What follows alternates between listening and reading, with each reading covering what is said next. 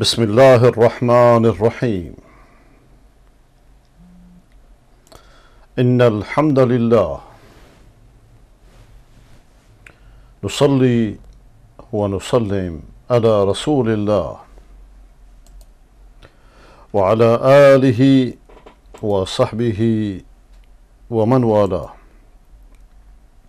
اللهم لك الحمد كما ينبغي لجلال وجهك ولعظيم سلطانك.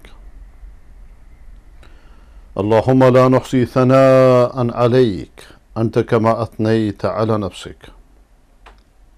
اللهم صل وسلم وانعم وبارك على سيدنا وحبيبنا ونبينا وشفيعنا وقرة عيننا محمد.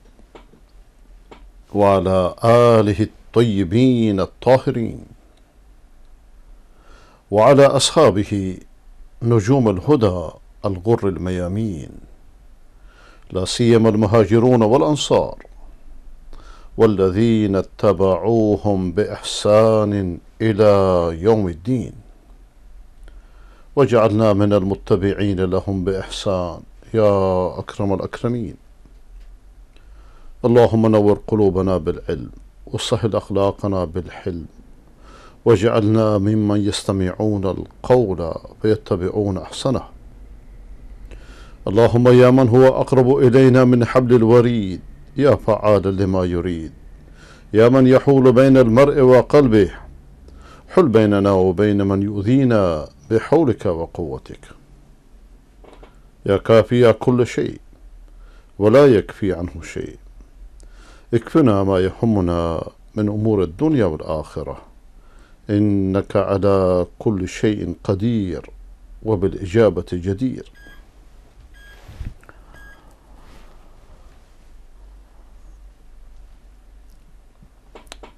طبق روش روزهای اخیر برنامه رو با دعاهایی آغاز میکنم.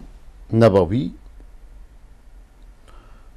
از کتابچه بسیار معروف به نام الورد المصفى المختار.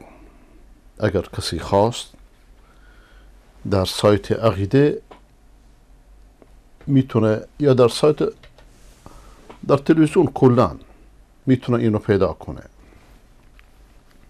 خداوند مؤلفش را و چاپ کنندهش را رحمت کند.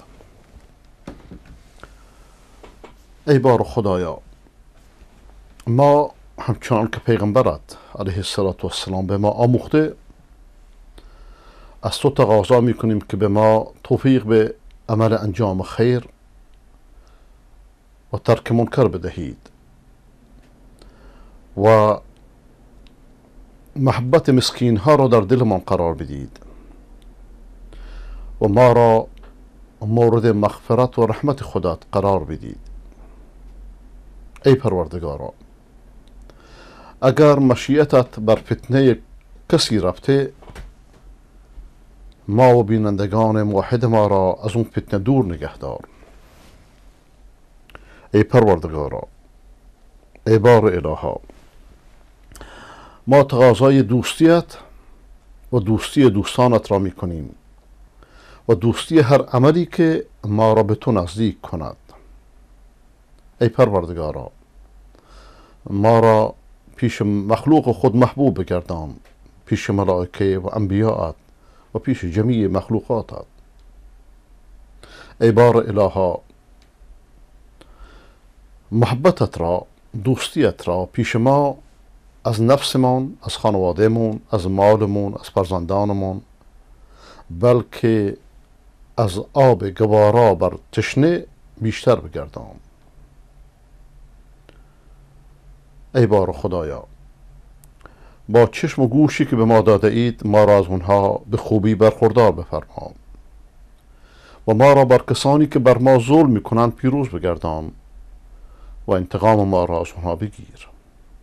ای بار خدایا این رژیم شیطانی بر ما و بر ملت ما ظلم کرده است. نهایتش را به ما بنمایان. ای پروردگارا بهترین عمر ما را در آخرش بگردان. بهترین عمل ما را در خاتمهش بگردان. و بهترین روز ما را روز لقایت بگردان. ای پروردگارا ما زندگی پاک و مرگی درست و سرانجامی پر افتخار است و خواخانیم ای پروردگارا در مصیبت ها به ما صبر بده در نعمت ها به ما شکر بده. ما را در چشم خودمان کوچک و در چشم مخلوقات بزرگ بگردان. ای پروردگارا ببخش و رحمت کن. و به بهترین راه ها ما را هدایت کن.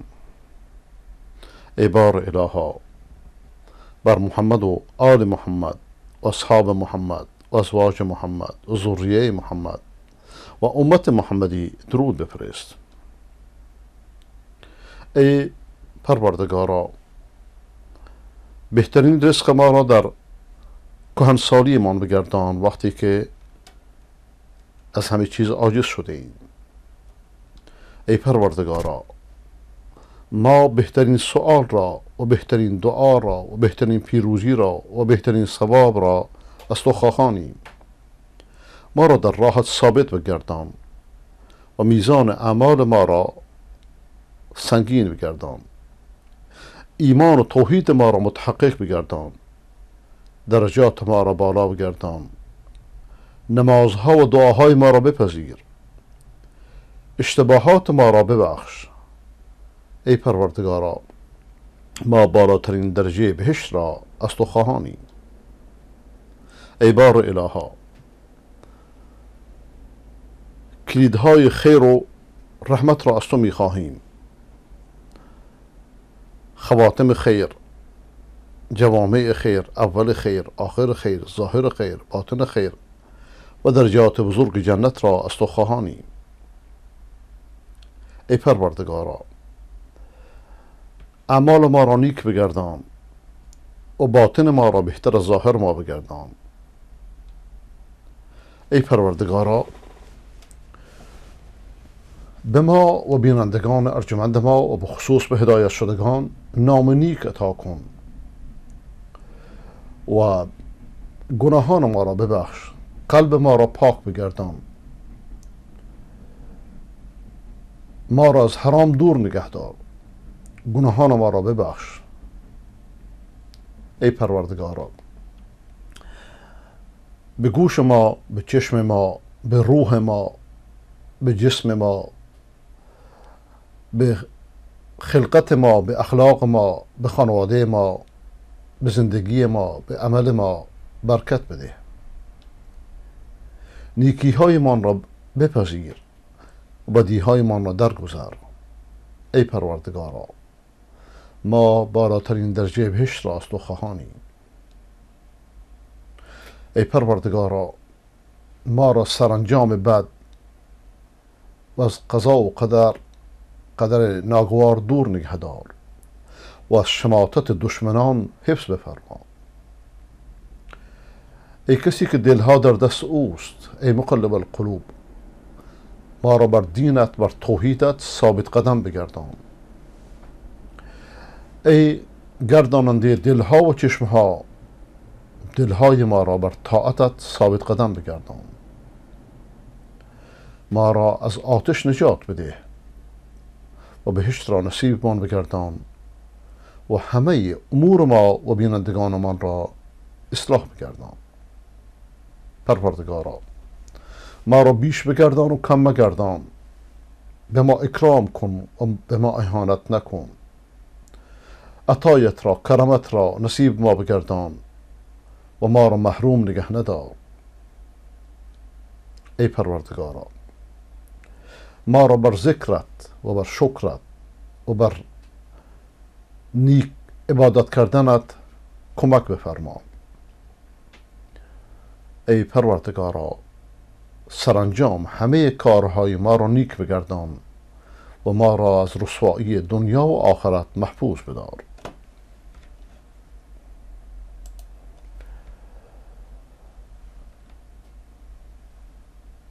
با عرض سلام و ادب به شما بینندگان ارجمند در سراسر گیتی. از مؤمنان و صالحان و حقجویان و مرصفان به نام آنکه بر ما عقل و دین داد به ما توفیق خیری این چنین داد. سپاس و حمد دایم آن خدا را که نعمتهای بی حد داد ما را. درود و هم سلام بی نهایت به روح مصطفی ختم رسالت. به آل و صحب آن فخر دو عالم به هر روز و شبی هر آن دمادم. خصوصا بر روان چار سرور ابو بکر و عمر عثمان و حیدر. خدایا هرچه داریم از تو داریم. به جز تو از کسی چیزی نداریم. به ما بخشیده هر گونه نعمت. به ما هرگز نشاید از تو غفلت. تمام هستی ما از برایت تن و جان و روان ما فداید با هم دو سپاس و ستایش بر خداوند متعال و با درود بی پایان بر محمد مصطفی علیه السلام و علی آله و صحبه الکرام. و با عرض سلام و ادب شما بینندگان ارجمند در سراسر گیتی از مؤمنان و صالحان و حقجویان و منصفان. از خداوند متعال تقاضا دارم که در این ساعتی را که انشاءالله در خدمتون خواهم بود آنچه را که مورد رضای اوست و برای اصلاح قلوب و افکار و رفتار و گفتار و کردار و خانواده و جامعه و دنیا و آخرت من شما مفید است خداوند آن را به لطف و کرم و منت خودش بر قلب و فکر و زبان بند جاری نماید. و شما سروران ارجمند را و شما برادران و خواهران محترم را و شما فرزندان عزیز را. از کسانی قرار بدهد که سخن را به خوبی میشنوند و بهترینش را برمیگزینند. بهترین سخن سخن خداوند است. و بهترین رهنمود رهنمود نبوی. در شرح سخن خداوند جل جلاله و امنوالو امروز دومین جلسه را میگذرانیم در آیه شریفه هفتاد یک از سوره توبه که راجع به صفات موحدان صفات مؤمنان صفات دوستان خداست. و چطور این کلمه ولی و دوست که در این کلمه به کار گرفته شده به کار رفته چطور تحریفگران و مزوران دینی سیاسی برای رسیدن به مطامع سیاسی خود از خمینی تا کلینی این کلمه را تحریف کردند و بزرگترین اختلاف و جنگ و فتنه را در اسلام ایجاد کرده اند گر تو می‌خواهی مسلمان زیستن نیست ممکن جز به قرآن زیستن. هیچ راهی بر اصلاح این امت چه در ایران چه در غیر ایران جز با فهم درست قرآن و عمل به آن وجود نداره. که هر کس که به جز مصطفی راه گزید که هرگز به منزل نخواهد رسید. وقتی که در آیات سابق راجع به منافقان، درنگان، تقیه بازان، مسلحت پرستان مفصل سخن گفت طبق روش قرآن همیشه در مقابل اونها در مقابل دشمنانش از دوستانش حرف می‌زنه. اینجا میفرماد که والمؤمنون والمؤمنات بعضهم اولیاء بعض. مردان مؤمن و زنان مؤمن. اینا دوستان هم دیگه هم. و صفتشون اینه که به کار خیر مردم رو دعوت می‌کنن. یعملون بالمعروف به کار خیر به قانون به قانون خیر. بعد توضیح میدم که معروف یعنی چی و منکر یعنی چی. و اینکه چطور در جامعه شرک زده ما این کلمات چنان از خاطر بد عمل کرد رژیم و اهل بدعت و زلالت و اهل قلوب و اهل افراد چنان معانی بدی بهشون داده شده که مردم از این کلمات زده شدن ورزا ایران بزرگترین کشور دینگریز دنیاست. از میان مسلمانان. در اروپا فعالترین کلیساها پر شیعیان مسیحی شده هستند. در داخل ایران همچنان که همه هم می‌دونن این حرفا رو ما 20 سال پیش می‌زدیم تلویزیون ها شاید برای بعضی اندکی قبول کردنش برای بعضی ها سخت بود. الان, الان, که همه می‌دونن. که مشهد و قوم و شهرهای مذهبی ایران با بانکوک و جنوب شرق آسیا در رزالت مسابقه میدن.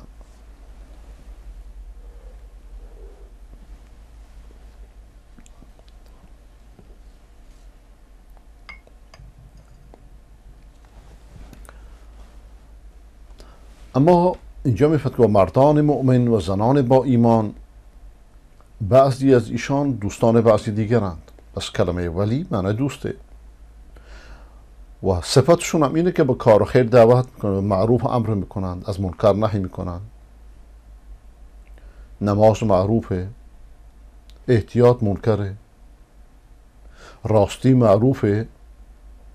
دروغ منکره. دوباره و نماز برپا میدارن. زکات میدن. نه خمس. خدا و رسول رو اطاعت می‌کنن. باز از امامت خبری نیست. اینها که خداوند به زودی رحمتشون می‌کنه. به راستی که خداوند عزیز و حکیمش کس ناپذیر و با حکمته. در جلسه گذشته با مثال های معنی ولایت توضیح داده شد.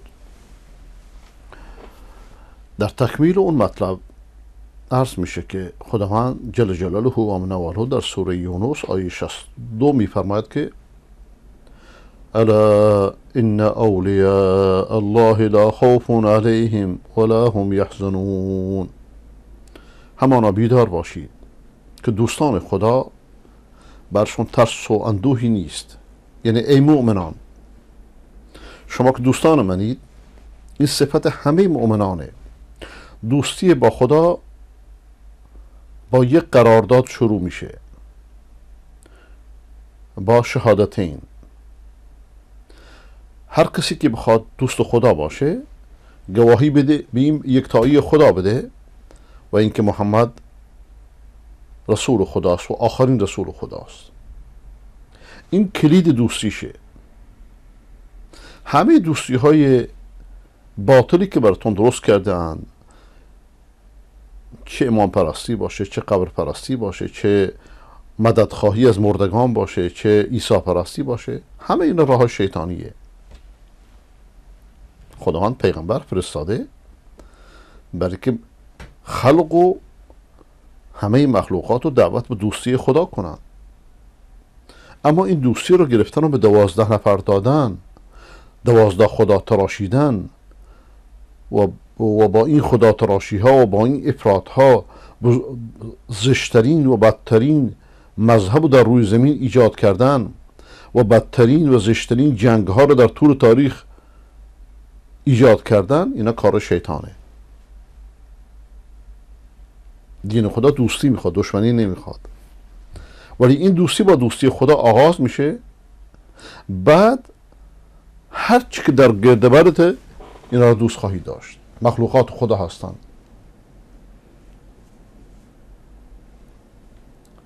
ولذا دوستان خدا کسانی هستند که این آیه شرح میده. خود خدا شرح میده. خود قرآن شرح میده. نیازی به این نیست که که دجالان ولایت و کذابان امامت بیان به بدعت هایی رو چنان باد کنن بدمن توش که مردم دیوانه بکنن و اینایی که هیدر پرست میشن علتش اینه که از قرآن دورند خداپرست نیستند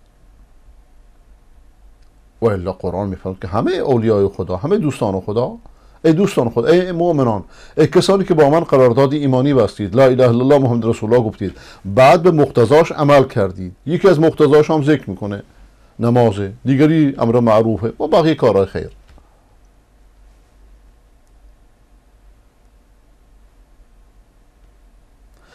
یعنی خداوند یعنی چی؟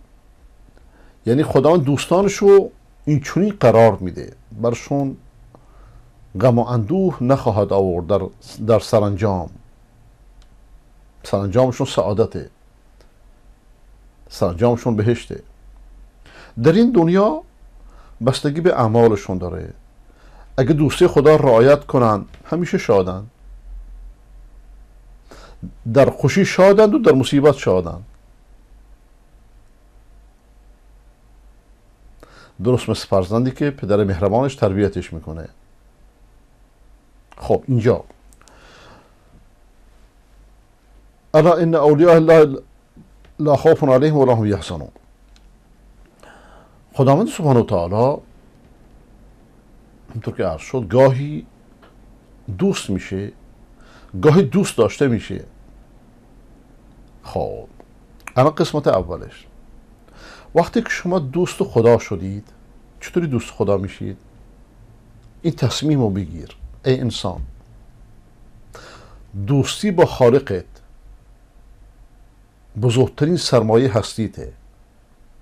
و خداوند تو رو خلق کرده نه برای دشمنی. شیطان تو رو دشمن می‌کنه. خداوند تو رو خلق کرده برای دوستی خودش. لیکن چطوری دوست خدا میشید؟ با طاعتش. با پیروی از اون حب من تحبه تطیعه کسی شما وقتی کسی را دوست دارید ازش اطاعت می‌کنید لیلا و مجنون داشتن می‌رفتن مجنون افتاد لیلا افتاد مجنون هم افتاد گفت ای آقا من لیز خوردم افتادم تو چرا افتادی گفت یعنی که تو افتادی من افتادم دیگه مگه من عاشقت نیستم من تو وجود نداره. در این اگرچه این کلمات و صوفیان و وحدت وجودی ملوث کرده اند. لیکن این معنا رو می‌خوام ارز کنم که دوستان خواهش می‌کنم الان زنگ نزنید. که حب من تحبه تطیعه. اگر دل اگه پدرتو دوست دارید باید ازش اطاعت کنید مادرتو دوست داری باید ازش اطاعت کنید این اولین گام دوستیه. خب. اومدید با خالق دوست شدید رفیق شدید. با چی؟ با پیروی از دستوراتش. و خیلی ما خیلی ما آسانتره. اینکه با خدا دوست بشید خیلی آسانتر از اینه که با مرده ها دوست بشید که اصلا نمی‌دونه شما چیکار می‌کنید. با صد تا مرده با هزار تا مرده که نمی‌دونه این چی می‌خواد اون چی می‌خواد. به قول قرآن شرکا متشاکسون. متشاکسون شریکانی هست که هر کدوم یک چیزی می‌خوان. اما خداوند هم دوستیش واضحه و هم در هر لحظه باید سر و کار داره. خب دوست مرده شدید. مثلا خب مرده که خودش نمی‌تونه کمک کنه. چطوری تو رو کمک کنه؟ همه مردگان همه مردگان بدون استثناء به دعای زندگان نیاز دارن. چرا؟ اونی که بهشتی درجهش بالاتر بره. اونی که جهنمی خدا نکرده درش تخفیف بشه. ولی دوستی خدا من شرایطی داره. ان تنصر الله یعنی چی؟ یعنی شما با طاعت خودت دوست خدا میشید. اون موقع خدا کمکت می‌کنه. و همه چیزت هم دست خداست. بالا دستت پایین دستت. خانوادت زنت بچهت پدرت مادرت همه خلق. قلبشون دست خداست سرانجامشون دست خداست. حیوانات فرشتگان باد آب همه همه چی. هر چی که در تصورت می گنجه و هر آنچه که در تصورت نمی گنجه هر چه مخلوق دست خداست مهارشون دست خداست. همه مشرکان از امام پرستان گرفته تا عیسی پرستان از گاو پرستان گرفته تا, موش پرستان. این این مهار و این قدرت و این ولایت و از خدا دزدیدن دادن به بتهایشون. یکی بتش اسمشو امام می‌ذاره یکی ولایت تکوینی می‌ذاره یکی ولایت فقیه می‌ذاره یکی ولایت عیسی می‌ذاره یکی عیسی پرستی می‌ذاره یکی تسلیس می‌ذاره. و هر چی راه های شیطان زیاده. خب. اما وقتی با خدا دوست میشید اولا خودت حس می‌کنی. خودت, خودت حس می‌کنی. بعد خداوند یاریت می‌کنه. کمکت می‌کنه. ان تنصر الله ینصرکم و یثبت اقدامکم خب اگر خدا را نصرت کنید خداوند نصرت می‌کنه. مگه خدا ضعیفه؟ که نصرت بخواد؟ نه. پس چرا؟ این چه نصرتی خدا می‌خواد؟ این فهم لایک هاست. بیدین ها که اصلا مثل خروس می‌خوان تخم می‌ذارن که نمی‌تونن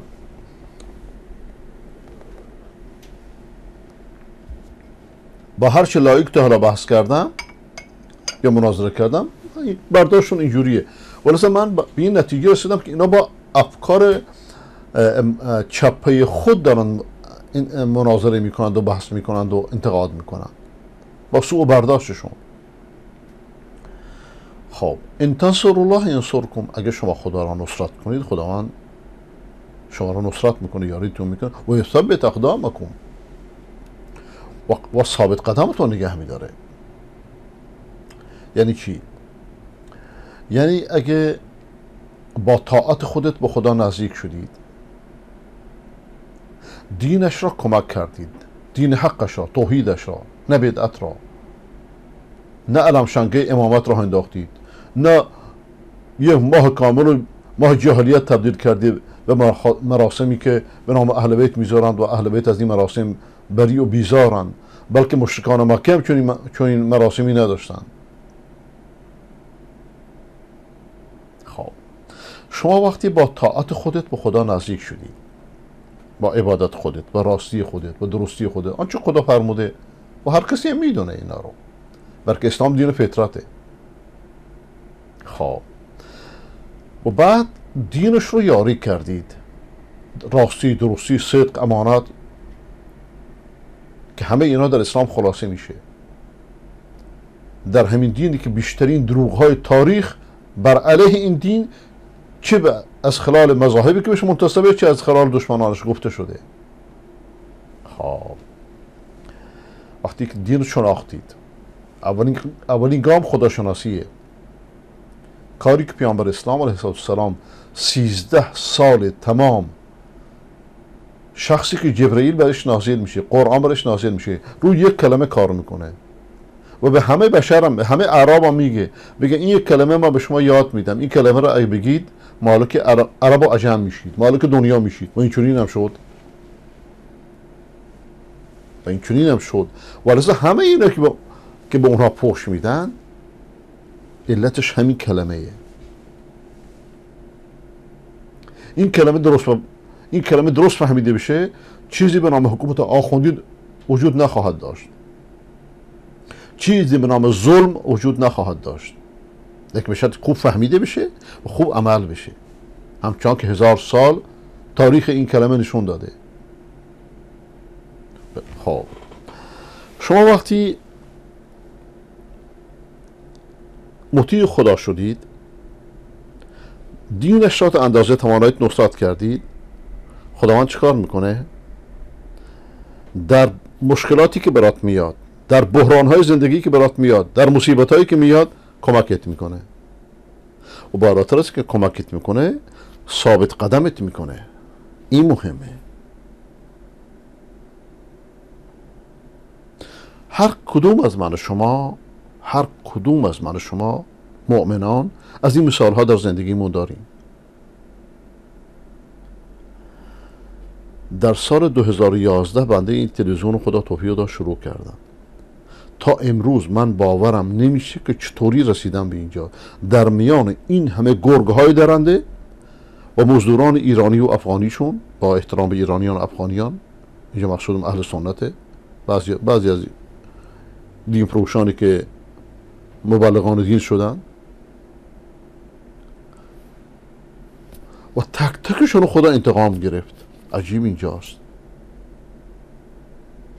خب. پس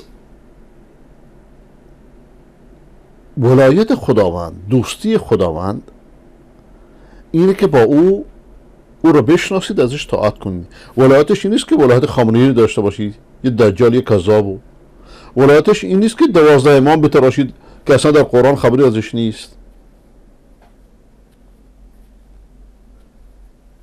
پس اصل معنای ولایت یعنی نزدیکی با خداوند. یعنی کمک کردن دینش کمک کردن مؤمنان. خب مادام که شما به دیگران کمک می‌کنید هر انسانی نقطه ضعفی داره. هر انسانی چه مؤمن چه غیر مؤمن. اینجا خب حرف ما از دوستان خداست. هیچ, م... هیچ انسانی در این دنیا کامل آفریده نشده. خب یه نقطه ضعف داره و یه نقطه قدرت داره. هر انسانی یه استعدادهایی داره کنو برتر می‌کنه. یه ضعف هایی داره که ناچار از دیگران استفاده بکنه در امور زندگیش. و لیکن کسی که همیشه ضعیف باشه یا همیشه قوی باشه؟ هیچ کسی. هیچ انسانی نیست که همیشه در یک حالت باشه. خب پس چی؟ یعنی هر کدوم از من شما گاهی ناصر دیگران میشیم گاهی منصور میشیم. گاهی یاور دیگران میشیم گاهی یاری میشیم. گاهی صحت داریم گاهی مریض میشیم. برای قرآن میفرماد که راجب مؤمنان که مؤمنان اولیاء آباد دوستان هم دیگرن خب. این کلمه بعض کلمه همدیگر رو مبهم گذاشته. معینش نکرده. چرا؟ برکه هر مؤمنی هر دوست خدایی در معرض اینه که که صالح بشه ببخشید ناصر بشه یا منصور بشه؟ یاری بکنه یا دیگران یاری بکنه؟ حالتش متغیره یکی نیست. برای, برای توضیح این معنا آیه دیگری خدمتون تلاوت کنم. خداوند در سوره زخرف آیه سی و دو میفرماید اهم یقسمون رحمت ربک؟ نحن قسمنا بینهم معیشتهم فی الحیات الدنیا. خب. و رفعنا بعضهم فوق بعض درجات لیتخذ بعضهم بعضا سخریا کمونیست ها از این آیه خیلی بازشون میاد. خصوصا قسمت آخر آیه. آیا اونها هستند که رحمت خدا رو تقسیم می‌کنن؟ بلکه تقسیم رحمت هم دست ماست. نحن قسمنا بینهم معیشتهم. ما زندگیشون رو بینشون تقسیم کردیم. فی الحیات دنیا در زندگی دنیا. و بعضی رو بر دیگری بر بعضی دیگر ترجیح دادیم. یکی را مالدار کردیم. یکی را میلیونر یکی را فقیر یکی را داده صد ناز و نعمت یکی را قرص زهر آلوده داده است. لیتخذ بعضهم بعضا سخریا تا همدیگه رو از همدیگه کار بگیرن مسخر کنن همدیگه رو. یعنی چی؟ یعنی خداوند خواسته که در این دنیا بعضیا برتر بشن بعضیا کهتر بشن. بعضیا فقیر بشن بعضیا غنی بشن. در امور دنیا. خب شما که می‌خواید امور دین تقسیم کنید بیاید اول آنچه را خداوند بهتون داده اونا رو تقسیم کنید. یعنی چی؟ یعنی زندگیتون در دنیا تابع قوانینی است که خداوند در این در جهان مادی درست کرده. شما به اینکه رحمت خدا را تقسیم کنید بیاید اونچه رو خدا بهتون داده تقسیم کنید. رحمت خدا رو تقسیم نکنید. خداوند خودش بهتر از شما می‌دونه که رحمتش چطوری تقسیم کنه. و مشرکان چه از امام پرستان و ولایت تراشان گرفته چه از عیسی پرستان رحمت خدا رو چپاول کردن یه امامان کارتونی دادن یک عیسایی که خودشون درست کردن به عنوان یک کارتون. یه شخصیت خدایی بهش دادن یه شخصیت بشری. یه کارتونه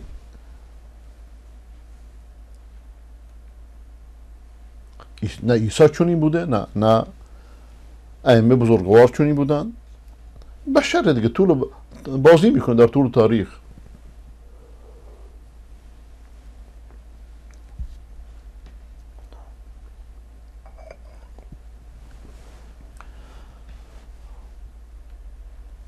و رفعنا بعضهم فوق بعض. بعضی رو بر بعضی دیگه ترجیح دادیم یعنی بعضی ها بلندند بعضی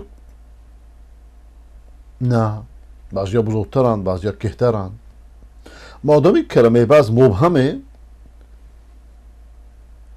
هر کدوم از من شما در معرضش قرار داریم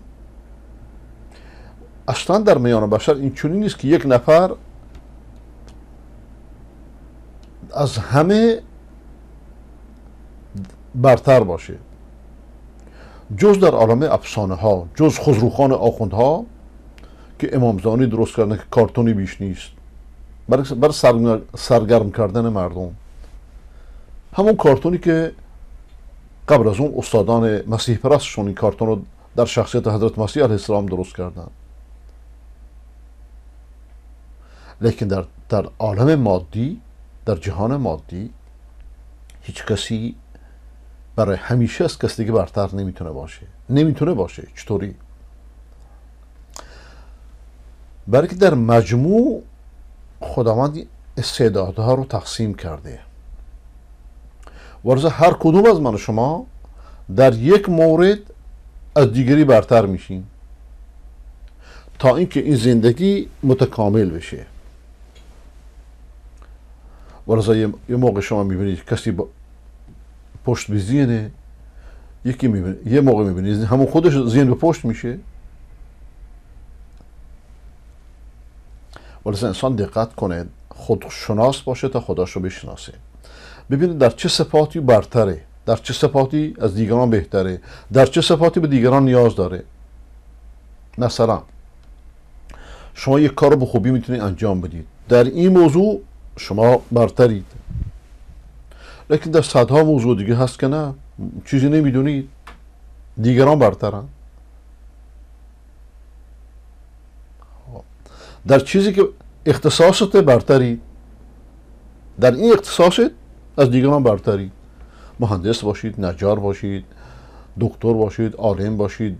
هر کسی در نعمت ها تقسیم شده. ولذا در این هستی می‌بینیم که هر انسانی در یک چیز برتره در یک چیز کهتره. این معنای و رفعنا بعضهم فوق بعض ما شما رو بر همدیگه ترجیح دادیم. بعضی رو بر بالای بعض دیگه قرار دادیم. لیکن مصیبت انسان ها کجاست؟ اینه که این برتری رو فقط در یک میدان می‌بینن. میگن این فقیر این غنیه. فقط به دنیا نگاه به مال نگاه می‌کنن. لیکن به, به تندرستی نگاه نمی‌کنن. به علم نگاه نمی‌کنن. به فرزند نگاه نمی‌کنن. به نیکی و صالح بودن همسر نگاه نمی‌کنن. به برکت در زندگی نگاه نمی‌کنن. یک زوایای مختلفی هست.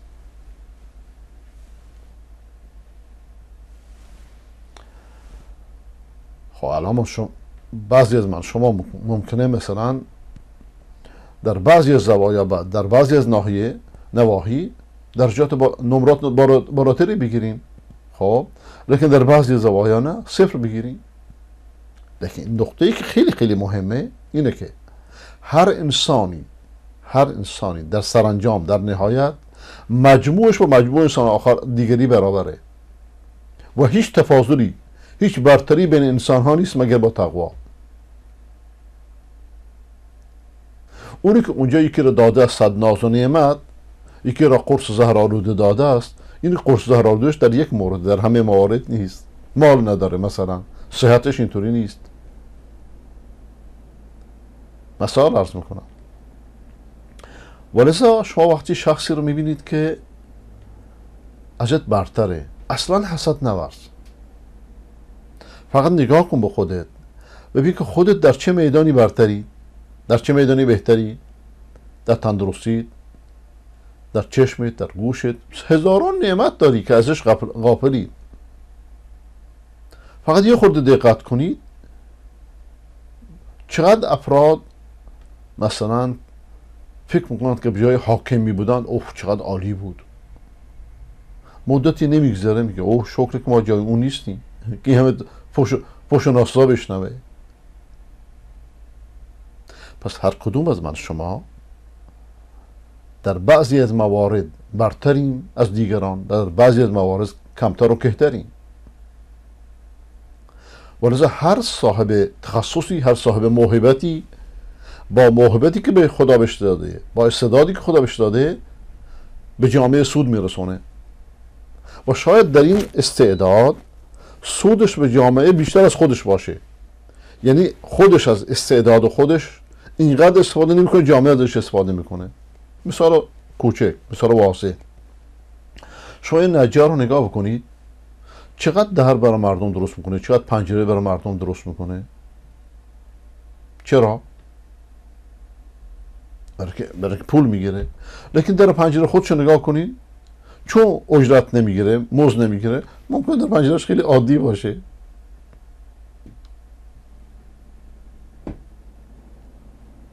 یا مثال دیگه.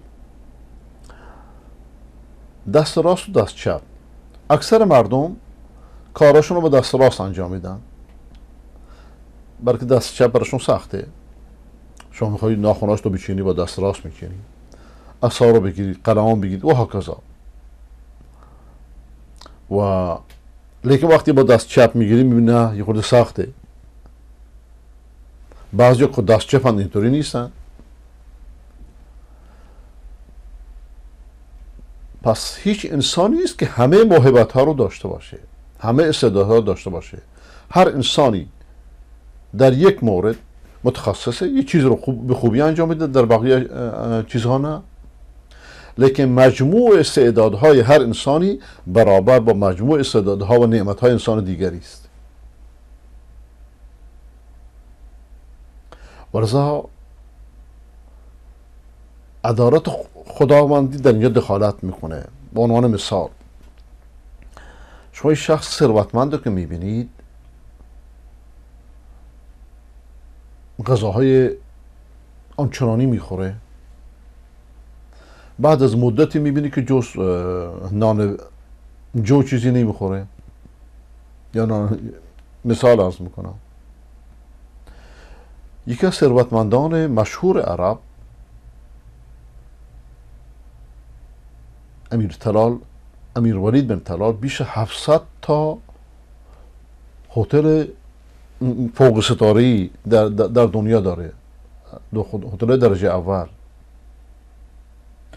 اما همین آخر شما نگاه کنید گوشت نمی‌تونه بخوره جو سبزی چیزی نمی‌تونه بخوره. آقا آیا صحت مهمتره یا مال؟ هر کسی میگه صحت. باور نداری؟ بیا انگشت یه ذره خونی کن ببین چه خبره. شما میری شخص رو پرخوره اصراف می‌کنه. مثال ارز می‌کنم. یه مدتی میگذره می‌بینی که پزشکان از غذا ممنوع از فلان غذا ممنوعش می‌کنن. چرا؟ بلکه حق خودشو از این غذا بیشتر خورده گرفته. صحتش در اینه تندرستیش در اینه که از این غذا محروم بشه. یکی از گوشت یکی از نمک یکی و هر کسی یک طوری. خداوند یه نظامی در این هستی گذاشته که همه در کمک همدیگه باشن. شما مثلا در, در پزشکی به دکتر نیاز دارید. دکتر به نجار نیاز داره. نجار به کار نیاز داره. و هکذا اینا همدیگه رو تکمیل می‌کنن.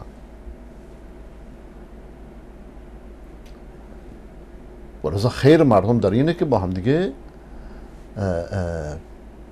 متفاوت باشن. نه که همه کپی همدیگه باشن. اگه متفاوت نمی بودن همشون همشون قاضی می بودن همشون عالم می بودن همشون دکتر می بودن این, این کائنات فاسد می آقا همه قاضی باشن. مریض رو که علاج می‌کنه. کی زمین شخ می‌زنه؟ کی خشت میاره کی راه ها رو تمیز می‌کنه؟ ولذا خداوند اینها رو چکار کرده؟ متفاوت کرده.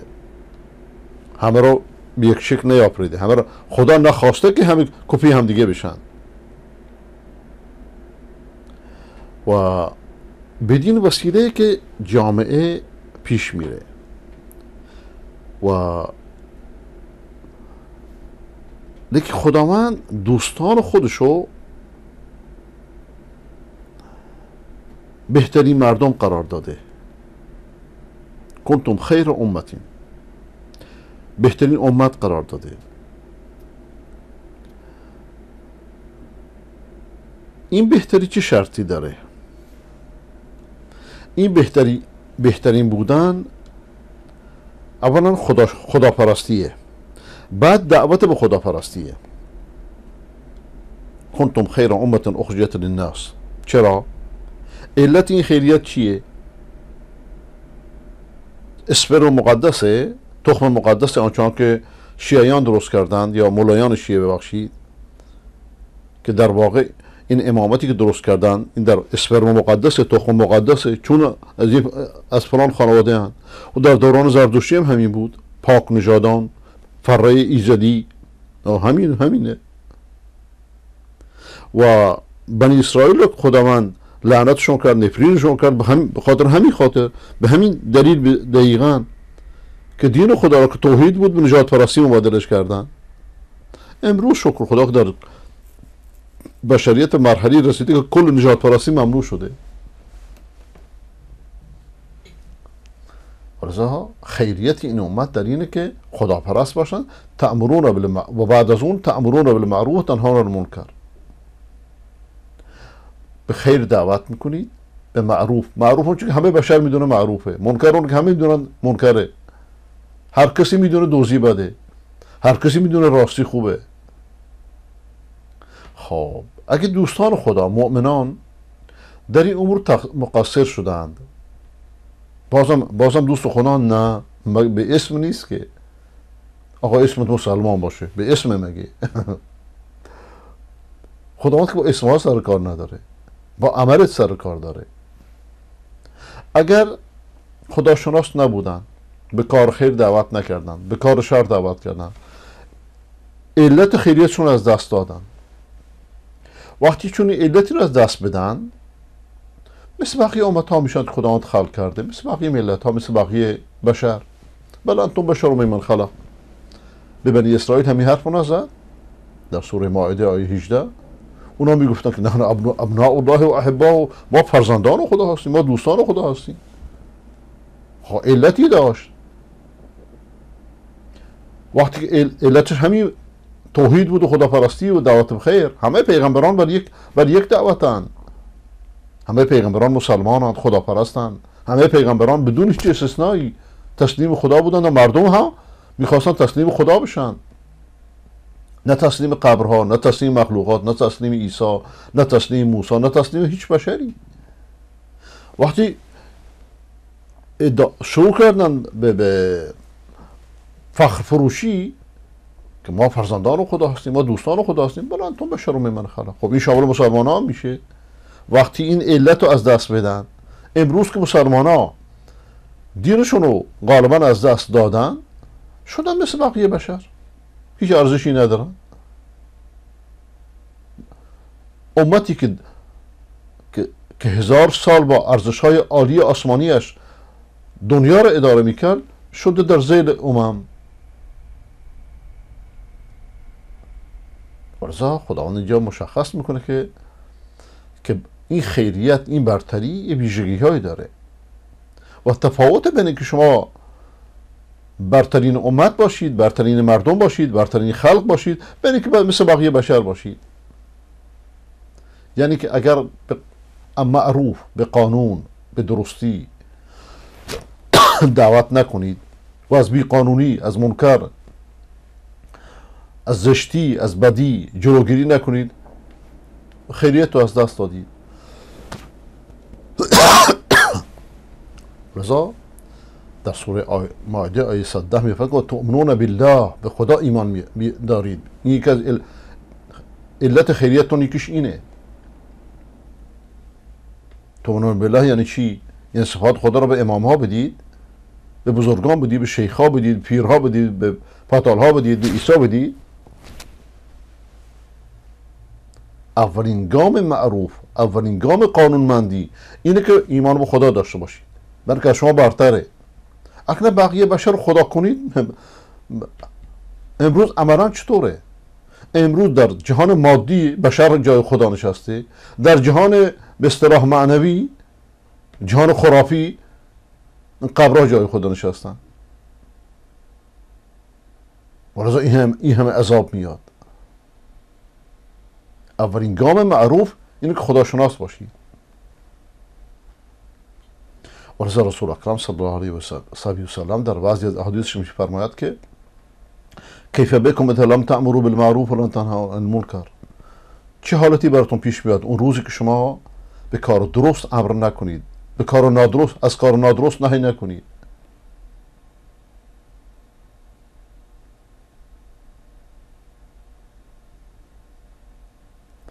قالوا او کائن ذلك یا رسول الله؟ آیا چنین چیز شدنیه؟ فرمود که اشد منه سیکون. شدیدتر از اون خواهد شد. صحابه تعجب کردن. قال شدیدتر از این چیه؟ قال فرمود که چطور اون وقتی که شما به منکر امر کنید و از, از معروف نهی کنید. همین کاری که رژیم منافق ایران خیلی واضح انجام میده. اینجا این غافلگیر شدن. خیلی بیشتر یعنی چی؟ أو قال أو کائن ذلك یا رسول الله؟ ای چون چیز شدنیه؟ فرمود که اشد منه سیکون. بیشتر از این خواهد سوال کردن از این چیه؟ قال كيف بكم اذا اصبح المعروف منكرا والمنكر معروفا. چطور اون وقتی که پیش شما درست نادرست باشه و نادرست درست باشه؟ امروز در جامعه شرک آلود ایران که خودش را به دروغ جمهوری اسلامی مینامه و از اسلام بوی نبرده و لذا قد خدایان دنیا می‌دونند اسلام چیه و لذا خمینی رو مسلط کردن بر ایران. با همه تبلیغاتشون تمام تبلیغات شرق و غرب جهان در اختیارش قرار گرفت. تا از اون یک قهرمان ساختند. برای این رو لازم داشتن الان در این دولتی که به دروغ اسمش جمهوری اسلامی منکر معروفه یا نه؟ سیغه عبادته زنا شده عبادت دروغ عبادت اسمش تقیه. شرک جنگ با خداست عبادت شده. اگه شما شرک منکر بشید وهابی هستید ناصبی هستید فوری اعدام میشید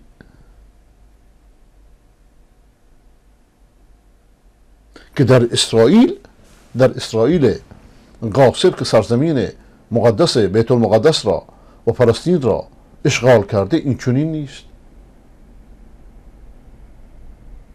شما به خاطر به خاطر دعوت به خدا اعدام نمیشید. چیزی اونم تهمتی در اسرائیل نام وهابیت وجود نداره. باش برو باش. وهابی باش. به تو چه مربوط؟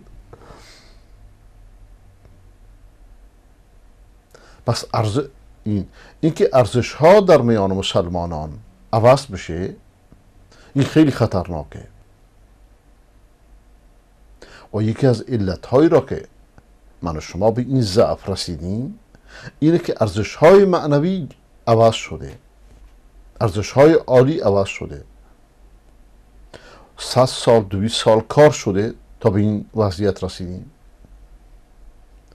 شاید این موضوع رو شب دیگه بیشتر توضیح بدم. حدیث را که نقل کردم. از علی ابن ابی طالب نقل شده رضی الله تعالی عنه. وآخر دعوانا الحمد لله رب العالمين وصلى الله على سيدنا محمد. وعلى آله وصحبه أجمعين.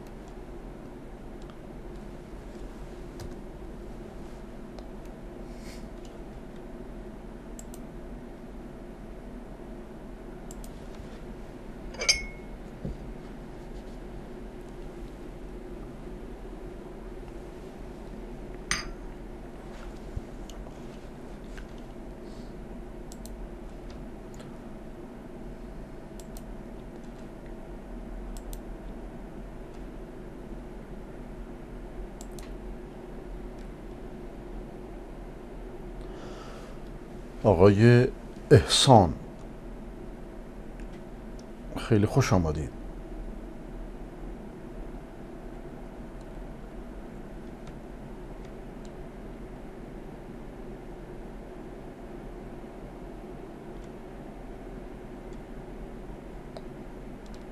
بله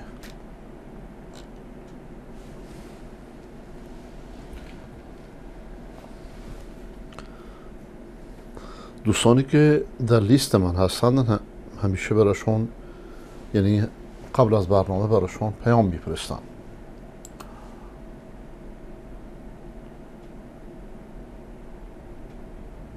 سلام. هر انسانی حتی فقط بخواد دنیای خودش رو آباد کنه اگه عاقل باشه باید اسلام انتخاب کنه. سریعترین صحابی که کار دولاش رو انجام می‌داد چه کسی بود؟ ممکن جواب بدین؟ مخصوص سال دومتون رو نمیفهم سریع. دولا... کار دو لشکر انجام می‌داد نمی‌دونم مقصودتون چیه.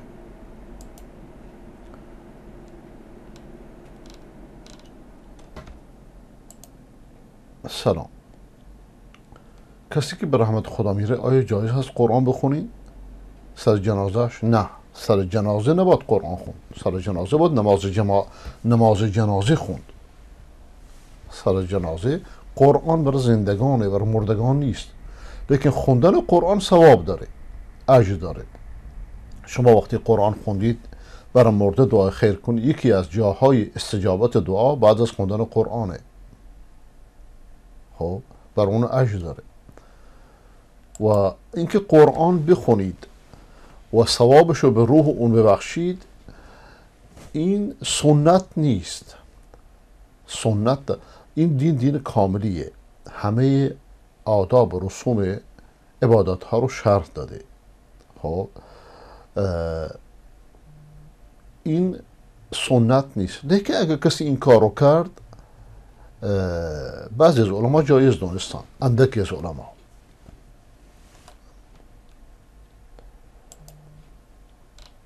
آقای عبدالرزاق از چابهار.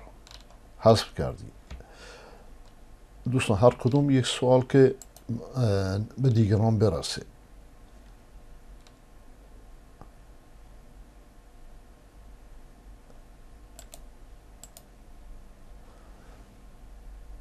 عبدالله دفتر یادبود قاسم سلیمانی رو در کابل امضا کرد.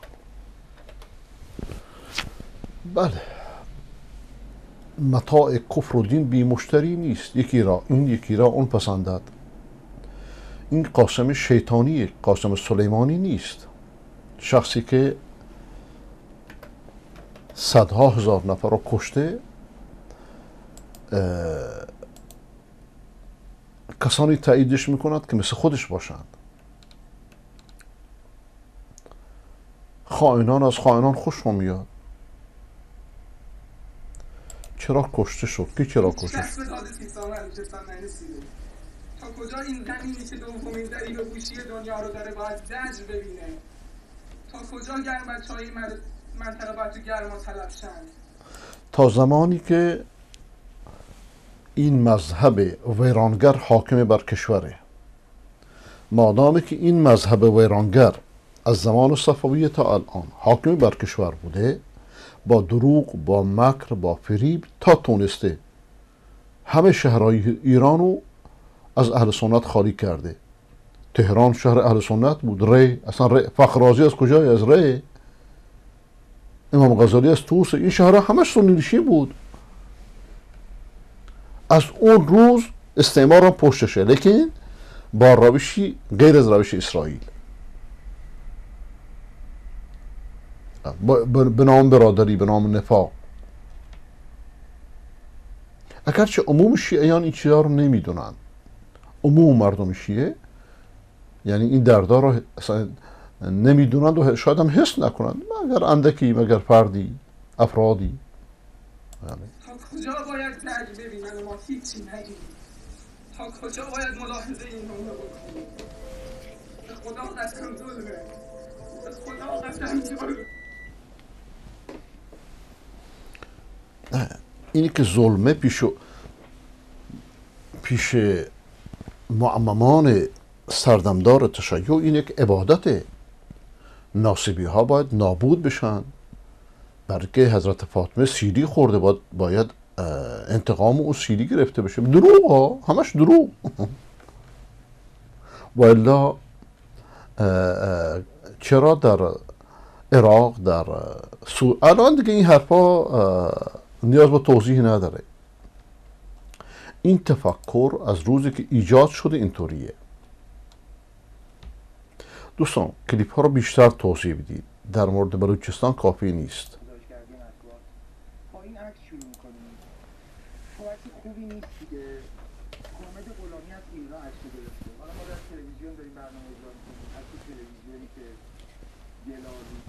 از میباره و از پس سیلاب روز اگر بیان هم این تلویزیون نداره امیدوارم در تلویزیون همراه بتونه ما رو ببینید با این عکس این سوژه رو شروع کردن. همشهری گزارش اختصاصی داره به قلم خانم فهیمه طباطبایی جدال آب و زندگی. آبی که قرار هر جا باشه آبادانی بیاره در رنج این مردمان هموطن افسوده در مقام سیلاب. دیگه حرف از آبادانی نیست. ویران کرده.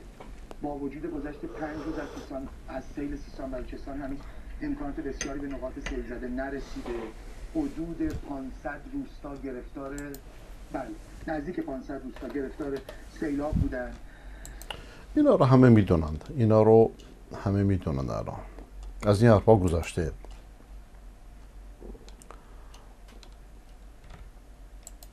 سلام علیکم برادر جان شیرین زبان حقگویم آقای نزوله عزیز.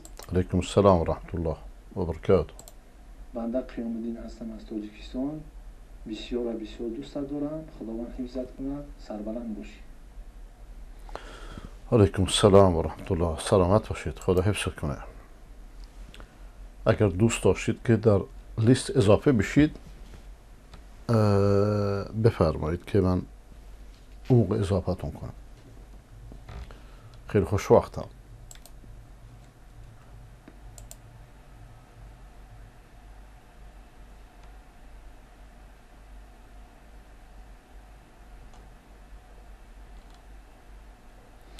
عکس بچه ها متاسفانه نمی‌تونم بر کسی بفرستم. به خاطر مسائل امنیتی هم یعنی.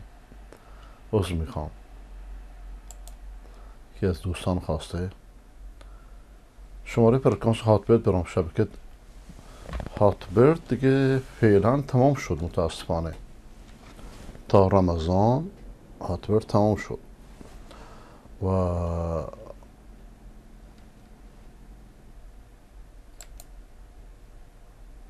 اجازه بدید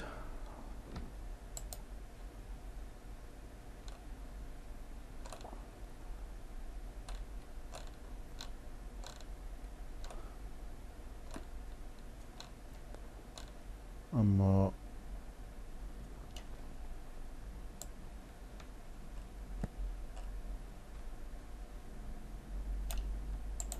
این مشخصات رو براتون میفرستم.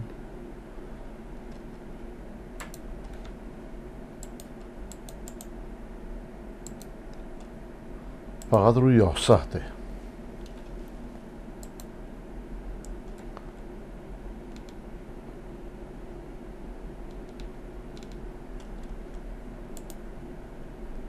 شماره منو در سیو لیست کن. با چه اسمی عزیز؟ باش. آقای الان متوجه شدم اسمتون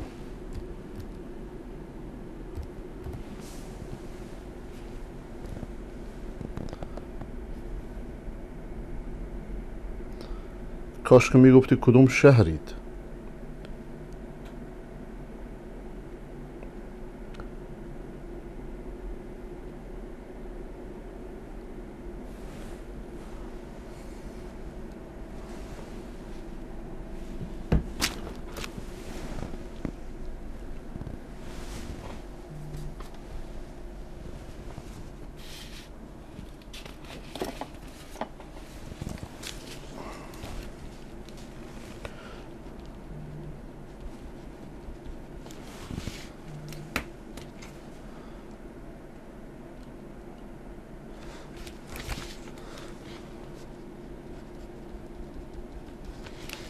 بله بسیار خوب. خیلی خوشوقتم. اموی هم در افغانستان شهید شد. چهار تا بچه کوچک داشت. بابام با زنش ازدواج کرد. و بچه هایش بزرگ شده. الان ازدواج کنه. آیا اجازه هست دست, دست بدیم براش؟ نه. اجازه بدین؟ اجازه بدین؟ بچه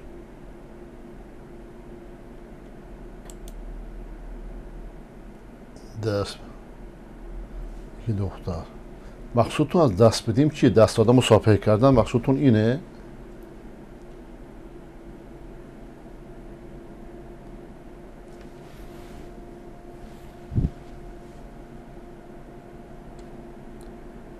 دست دادن با با نامحرم جایز نیست لیکن مقصود چون اینجا حرمت موقتیه و فرزندان کس دیگه هستن در سوالی داشتم. در مناظر شب که مستقله مجدی برنامه کاشمی نام داشت آیا تشیع بود از اهل سنت؟ نه از اهل سنت بود لیکن براش مصالح مادی مهم بود. یک میلیون دلار از ایران گرفته بود. دقت می‌کنید؟ و من در خود بعدا وقتی این سند دستم اومد سند رو برداشتم بردم پیشش تو تلویزیون در پخش زنده بهش نشون دادم. و بعدش پنج سال ممنوع شدم.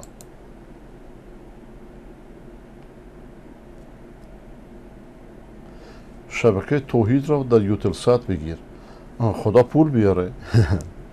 خدا پول خدا کمک کنه در, در ده ماهواره هم بگیریم خوبه. لیکن پناه بر خدا. ثروتمندان اهل سنت خوابند و فسادکاران هم زیاد. جالب اینجاست ها.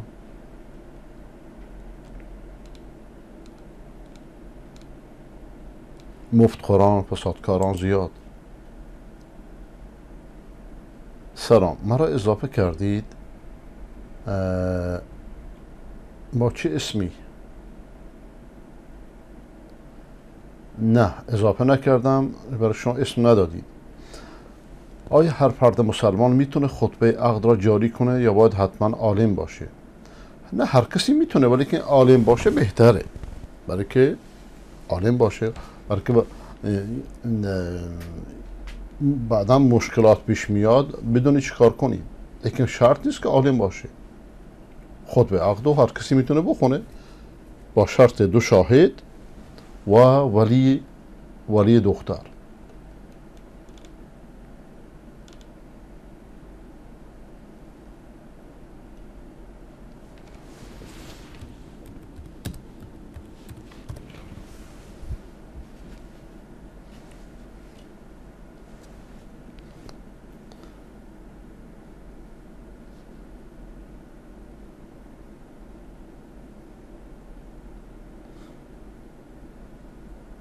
منتظرش اسمتون هستم. فعلا من فقط اسم شهرتون رو می نویسم خب؟ ولی لطف کنید اسمتون رو بدید. حتی اگه اسم مستعار هم باشه اشکالی نداره. بسیار خوب. آقای پارز. پارز یا پارس؟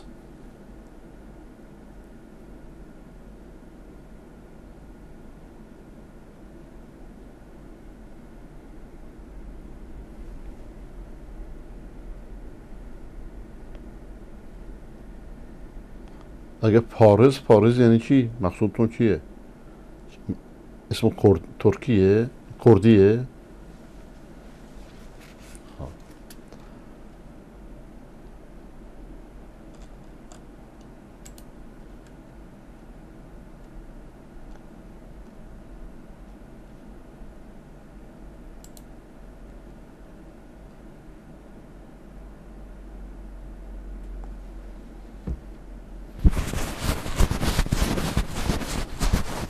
نه اونا محرم شما نیستن. از پدر دیگری هستن محرم شما نیستن.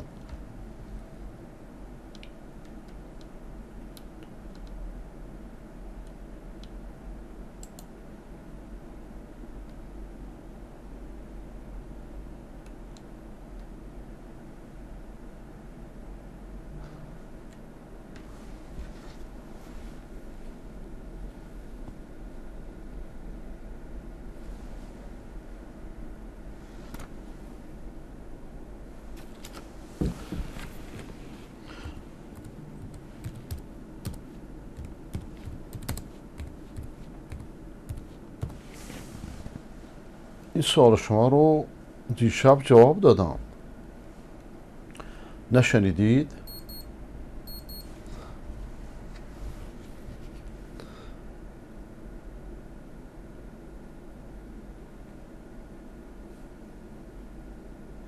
دیشب مفصل جواب دادم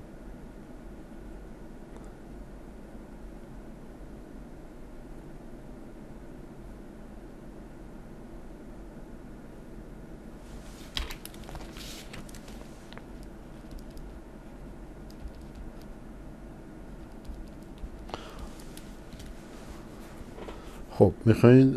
من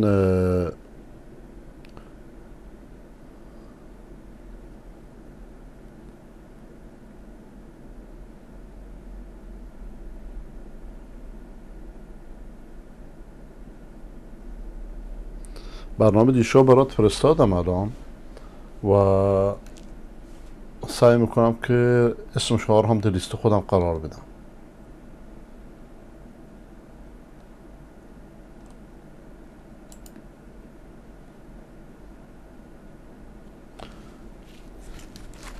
چشم آقای قیام الدین چشم. قیام الدین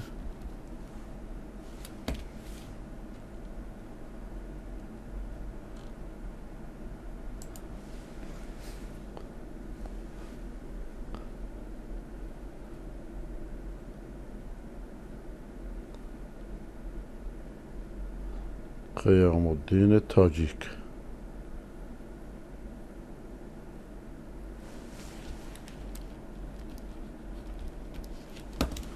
خیلی خوشحالم از شما.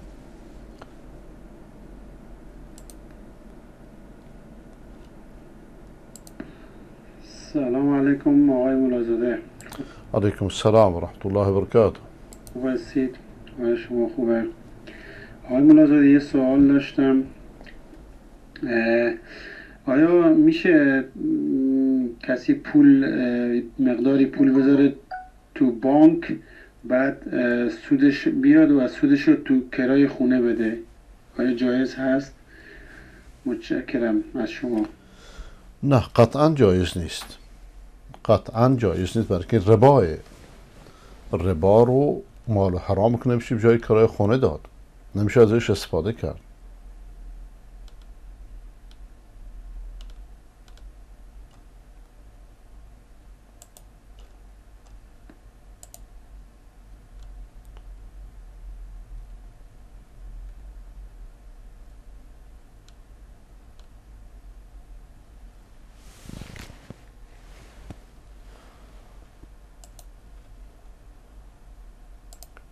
کمک روحانی به سرزده ها چطوری؟ با چی کمک کرده؟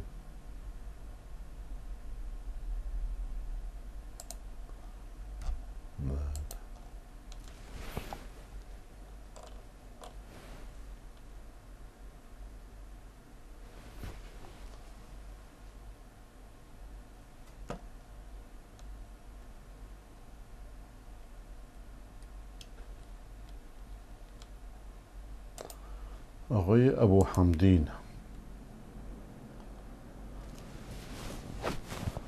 اه، این کلیپ که شما فرستادید اصحاب کهف زمان حرکت مهاجرین اهل سنت ایران.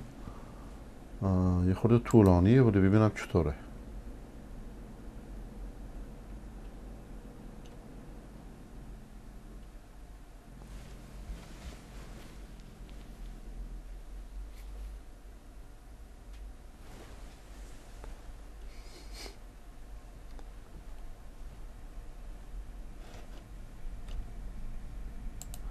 یا می‌خوان یه کار کنم. بذارین این هنوز که نمیاد. سنگینه خیلی.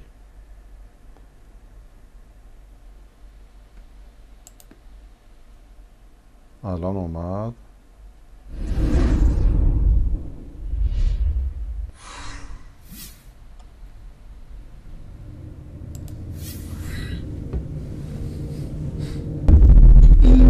ساحل است. اما ساحلی متفاوت با آنچه تا کنون دیده یا شنیده ایم. ساحلی که کوههای جبل اکرادش سیاحتگاه مردانی گشته است که نه دلهای چند ستاره مسکنشان که کهف و قارهایی مأمنشان است که نقششان را خود با دستانشان بر دل کوه حک کرده اند.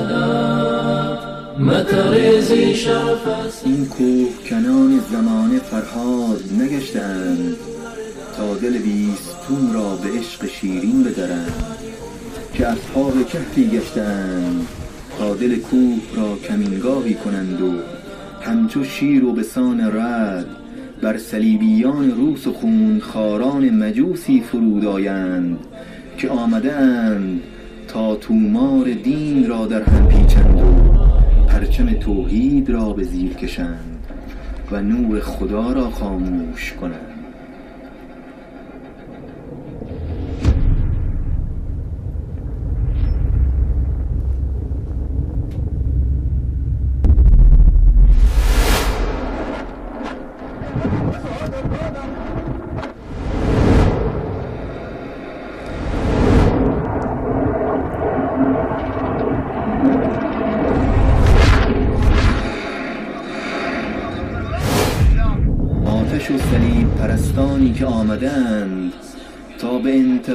شکست قادسیه و قدس ارز و ناموس نوادگان عمر و صلاح الدین با خود برند و زن پیر و طفلکانشان را کشند.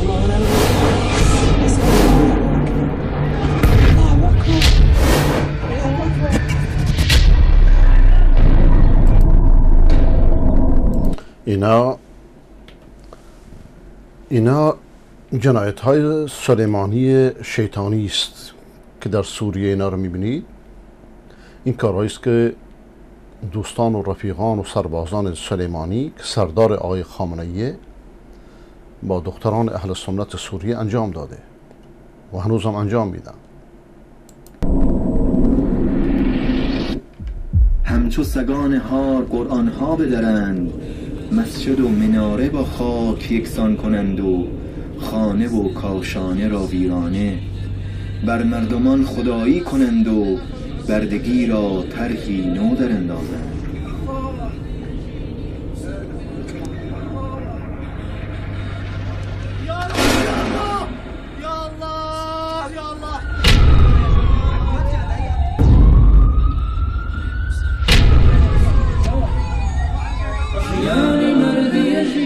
اما زهی خیال باطل که در این کهف ها مردانی به انتظارشان شب را صبح می کنند که آمده اند تا همچو صلاح الدین صلیبیان را در هم شکنند.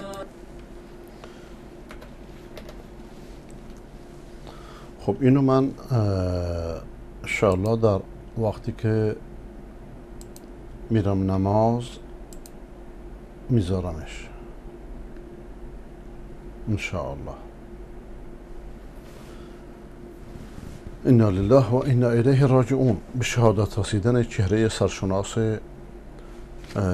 جهان اسلام شیخ یوسف دیدات ابن شیخ احمد دیدات رحمه الله تا یه حمله در جنوب افریقا خدا رحمتش کنه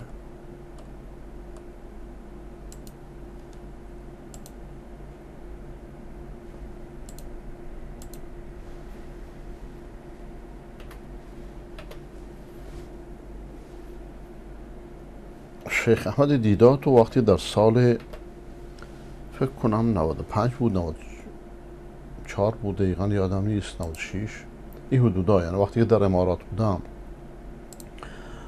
دیدم خدا رحمتش کنه مریض بود. گفتم که خوش به حالت که با سرکارت با مسیحیانه گفت چرا؟ گفتم اگه سرکارت باشه با مدعیان تشیع می بود الان مثل شیخ احسان الله زهیر بودید. میگیم می‌گفتیم خدا رحمتت کنه.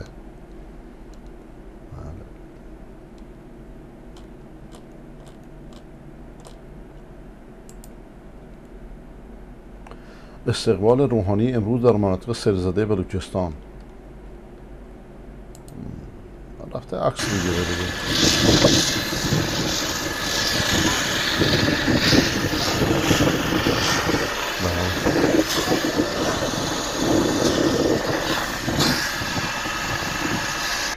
بله. همش تظاهر دیگه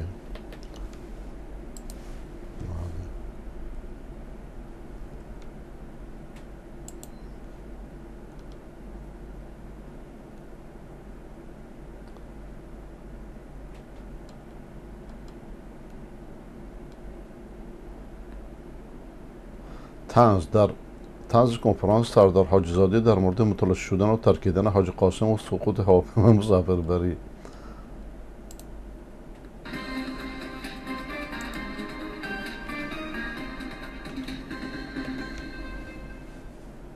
سلام و عرض تهیت به پیشگاه مقام عظمای ولایت قاسم هو ترکیده به عباء هو جریده و با سلام به روان روانی حاج قاسم سلیمانی جسم هو متلاشی بنده سردار حاجی زاده آمپر هو چسبیده. در خدمت شما هستم تا گزارشی از انتقام سخت سخت علیه پایگاه های استکبار جهانی که دهان عظما را آسفالتیده. رو خدمتون ارائه کنم. ما تصمیم این انتقام سخت رو وقتی گرفتیم که سبیه حاج قاسم یعنی همون زینبشون زیزی گلو به من گفت امو حاجی بابام ترکید من به امو بشار و دایی نصرالله هم گفتم کی انتقامش میگی من دیگه اونجا تحملم طاقتی ده و گفتم دیزی بذار من یه مشورتی با خاله یزید و عمه هیتلر و زندای امراس بکنم که یک انتقام سخت اساسی بگیریم دشمن حساب قدرت و حیمنه این موشکی ما رو نکرده بود که وقتی از آشیانه در می شدن فریاد می زدن و آسمانی می شدن قبل از این قبل از این در شدن بلایی صحبت این بود که بزنیم یا نزنیم اصلا چی بزنیم؟ سردار سلامی معتقد بودن که ملق بزنیم سردار جعفری می‌گفتن تنبک بزنیم آقای ظریف می‌گفتن لبخند بزنید. خود مقام عظما هم که می‌گفت خفه بمیرید منقل چاق کنید یه شیش نخودی بزنید مسئولین بدانند. در نهایت تصمیم گرفتیم که 17 تا موشک بزنیم. این موشک هم که رفتن هوا به اذن بلایت هر کدومشون قاسم 700 و 400 و 40 و 500 تا موشک شدن. این 700 و 400 و 500 تا هر کدومشون 1000 و 80 هزار هدف رو مورد اصابت قرار دادن که شاهدان صحنه می‌گفتن این موشک ها وقتی میخوردن میخوردن زمین دوباره اونایی می‌شدن به اذن بلایت این ور اون ور نگاه می‌کردن سرباز آمریکایی رو میدن می‌گفتن قاسم تو قاسم رو زدی می‌رفتن سمت. به مطابق گزارشات موثق که ما داریم تمام پایگاه های آمریکایی در عراق قاسم یعنی نابود شد. قریب به 240 میلیون کشته داشتن. 8 میلیارد زخمی بوده.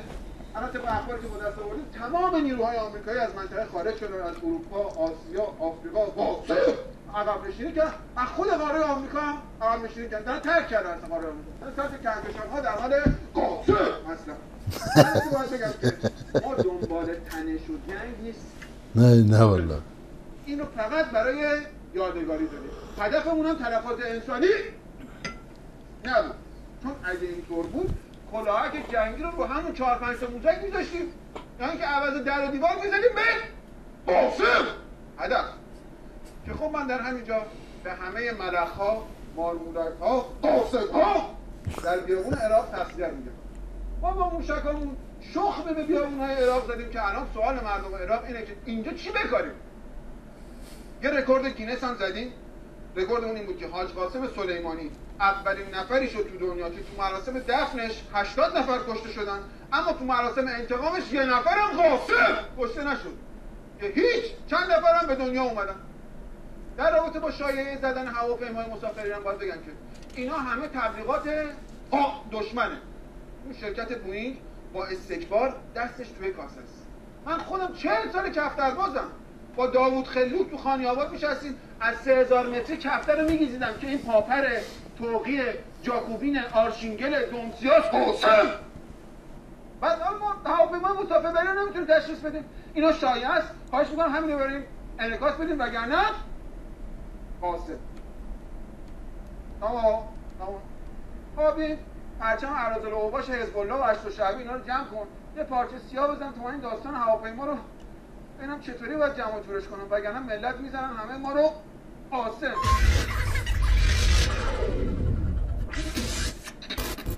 با سلام و تهیت به پیشگاه مقام عظما اسمت او رنگیده و تهارت او مالیده. من خودم همین الان فهمیدم که سقوط هواپیما کار ما بوده. آقای روحانی هم که خب طبق معمول صبح جمعه فهمیدن. مقام عظما هم که مثل که هنوز نفهمیده. گرم حالشون نیست. ای کاش ای کاش که من خودم با این گردن نازکم. تو اون هواپیما نبودم مقام عظما با جسم ناقصش. بله همه این داستان تقصیر موشک های استکباریه که جدگیر شدن و بدون تدبیر به سمت اون هواپیما رفتن و ایام و دستاوردهای قاسمیه رو به ما زهرمار کرد. البته من هم گفته باشم که این هواپیما خودش سر گوشش می جنبید کارشناسای هوافضای ما تحقیق کردن متوجه شدن که این هواپیما از اختلالات روانی رنج می‌برده.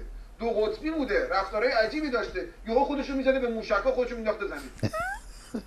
شما نها کن. من خودم صادقانه اومدم گفتم که کار ما بوده.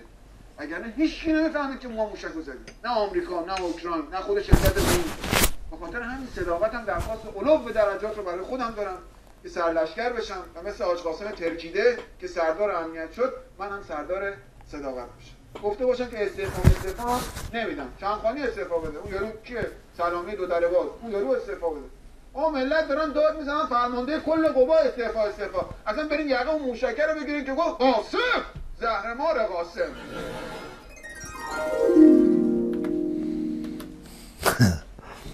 بله.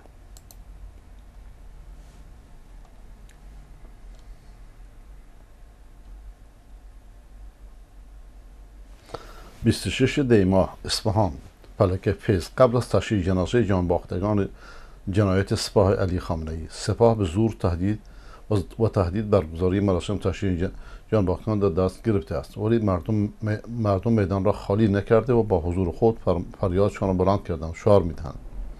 برندگوی سپاه سعی می‌کند که سعی می‌کند که از رسیدن صدای شعار جمعیت جلوگیری کند.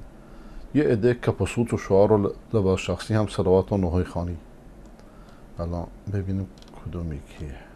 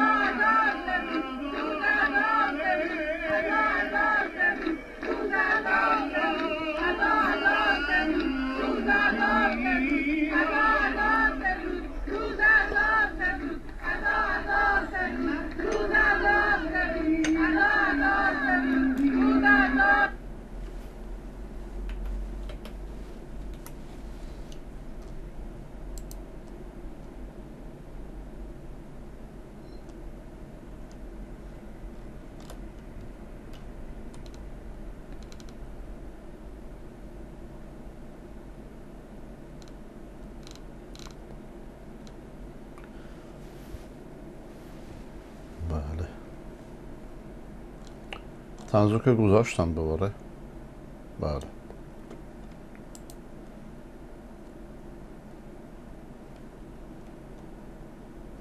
السلام علیکم. وجه مشترک هواداران قاسم سلیمانی. قاسم سلیمانی نماد کامل اعمال غیر انسانی، غیر قانونی و تمامیت خواهی آخوندی بود. کسانی که در مرگ او عزاداری کردند هیچ تفاوتی ندارد کجا باشند و یا زیر چه پرچمی قرار بگیرند. آنها با منش ضد بشری قاسم سلیمانی همراهند و به این خاطر قرآن گفت که فرموده که المنافقون بعضهم من بعض. منافقان یک قماشند اما آنچه جمهوری اسلامی پیش پس از کشته شدن قاسم سلیمانی تحت عنوان علاقه مشترک سریقه های مختلف نسبت به او در رسانه هایش به نمایش گذاشت با واقعیت فرسنگ ها فاصله داشت. کشته شدن قاسم سلیمانی پرده ها را از روی بسیار از حقایق پنهان, حقایق پنهان کنار زد. پس از مرگ او تمام گروه هایی که از ثروت و سامان مردم ایران به ناحق ارتزاق می‌کردند زانوی غم به بغل گرفته و برای او سوگواری کردند. از, از بنیادگران افراطی که ادعای سامگرایی دارند تا اصلاح طلب و ملیگرایان حامی سپاه. بله. حتی آقای سروش. بلندگوه های تبلیغاتی رژیم آخوندی جنبه اسطوری قاسم سلیمانی را دلیل جمع شدن سریقه مد... و حتی مخالف در زیر علم سوگواری مرگ او عنوان کردند در زیر علم جاهلیت. و در طرف مقابل جمهوری اسلامی بسیاری از تحلیلگران در رسانه های معتبر غربی با نوشتن یادداشت های بنیادگرایی را دلیل هم دلیل همنوایی تفکرات مختلف در سوگ سلیمانی دانستند. اما وقتی کمی در این مسئله عمیقتر میشه در منش و در منش در منش سوابق و عملکردهای عملکرد گروه های عمده عزادات در جریان مرگ سلیمانی دقت می‌کنیم. روشن میگردد که چنین آنها چون که آنها بیان کردن نبود. چگونه می‌توان ملی گرایان و اصلاح طلبان حامی قاسم سلیمانی با با آن سبک زندگی غربی و علاقهشان به آزادی آزادی بیچون چرای فردی را بنیادگرایی متصل کرد. بیشک تنها دلیل این هم است سفره سفره نفتی بود که سفره سفرهدارش قاسم سلیمانی بود. آن هم نفتی که متعلق با حق مردم ایران بود.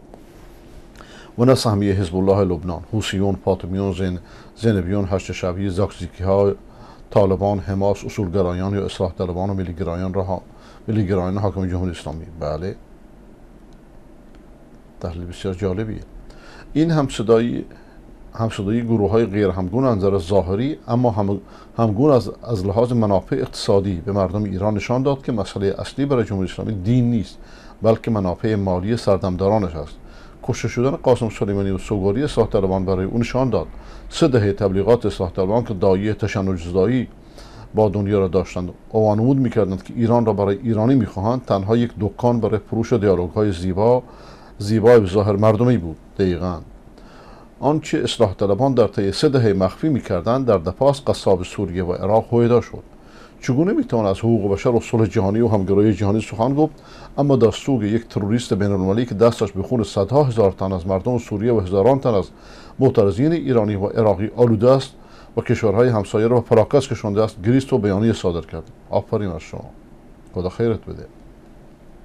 آنچه از سوی حزب الله لبنان، حوثیون یمن، زاکزیکیون نیجریه، بانان باسیون سوریه، هشت شعبی عراق، فاطمیون فاطمیون هزار افغان و زینبیون هزار پاکستان و از سوی دیگر اصولگرایان اصلاح طلبان و ملیگرایان جمهوری اسلامی را وادار ساخته برای مرگ قاسم سلیمانی بیانیه صادر کنند. او را شهید بخوانند و مویه کنان در بزرگداشت و او به مجزگویی مشغول شوند. یک آیتم مشترک بود. آن آیتم آن آیتم مشترک چیزی به جز سفره مشترک برای قارت نبوده و نیست. سفره که با ثروت و سامان مردم زشت کشیده و ستم دیده ایران براشان رنگین شد. اما آنها بهرهمندی و متفاوتی از سفره منابع ملی مردم ایران داشتند. هرچند اعضای گروه های مزدور و شبه نظامی سالهاست به دریافت مستمری اندک ماهانه 100 تا 150 دلار دل خوش دارند. اما اصولگرایان اصلاح طلبان و ملیگرایان حامی سپاه به کمتر از حقوق ماهانه مدیریتی چند ده میلیونی و حتی چند صد میلیونی های عظیم وام های کم بهره میلیاردی و واگذاری مفت مجانی شرکت های عظیم دولتی به آنها به بهانه خصوص سازی راضی نشدند. هرچه از عبور از عمر جمهوری اسلامی بیشتر میگذرد مردم ایران و دیگر کشورهای منطقه بیشتر متوجه می‌شد که ایدولوژی این حکومت به اصطلاح دینی بیگونه است که فقط به دنبال منافع آقا کل امامت بر این بنا شده. کل مذهب بر همین از روز اول اینطوری بنا شده. خاطر دنیا. حکومت به اصطلاح دینی به گونه است که فقط به دنبال منافع دایره کوچک خودی های نظام بوده و هست. سلیمانی در زندگی و مرگش با جمع کردن غارت غارتگران بله برای چشمگویش از هر تفکر و سلیقه‌ای بر سر سفره منافع مردم ایران حقیقت پشت پرده گروه ها و دستای همه جمهوری اسلامی آشکار ساخت. خدا نفرینش کند. او را و طرفدارانش را.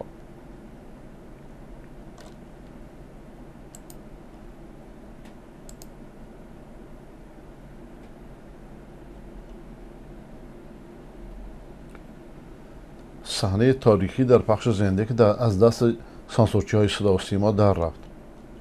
کدومی که هنوز چیز نیامده؟ آقای محمد امین.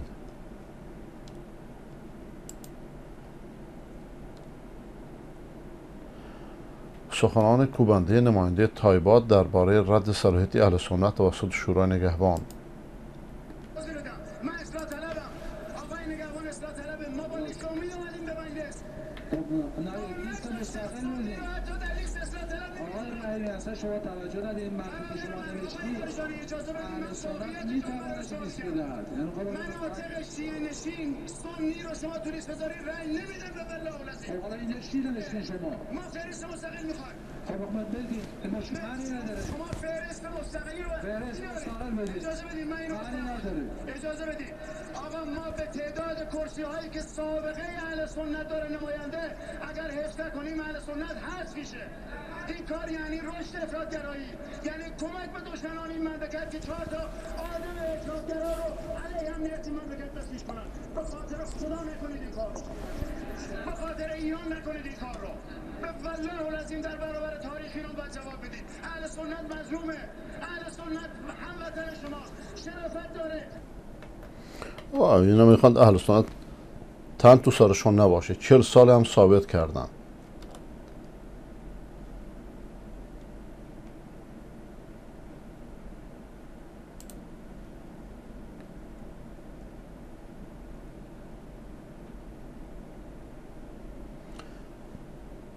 زن بابام شیر نداشت مادرم براشون شیر داد. مادامی که به شیر داده برادر برادر شیری شما هستن. برادری شیری اون اون شکمی که از شیر خوردن. یعنی اون اون اون فرزندی که از اون شکم در اون دوره به دنیا آمده نه, نه همه برادران و خواهران.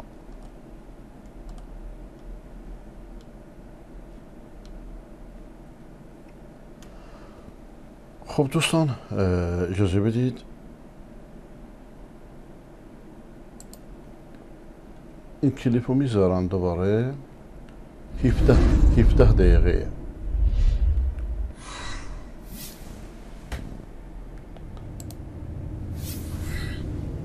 این چند دقیقه شما دیدید؟ اینجا ساحل است. اما ساحلی متفاوت. با آنچه تا کنون دیده یا شنیده ایم. فعلا خدا. ساحلی که کوههای جبل اکرادش سیاحتگاه مردانی گشته است. که نه دلهای چند ستاره مسکنشان که کهف و قارهایی مأمنشان است که نقششان را خود با دستانشان بر دل کوه حک کرده اند.